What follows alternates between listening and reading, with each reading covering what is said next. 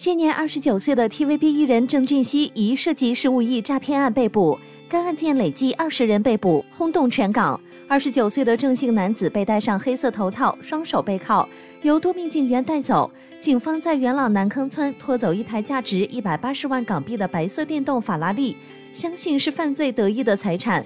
据了解，香港证监会上个月点名虚拟财产交易平台 JPEX 涉嫌违规。截至九月二十九日，已收到两千四百多人报案被骗，涉及金额高达十五亿。艺人张智霖曾担任该平台的品牌大使，九月十九日现身助警方调查，事后发布声明否认涉案。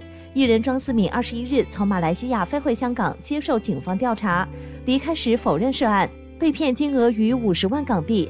据悉，次日被带走的郑俊熙出生于一九九四年，二零一七年报考艺人培训班进入 TVB。郑俊熙虽然还没有成为男一号，但受到曾志伟力捧，在内地寂寂无名的他，其实已是隐形富豪。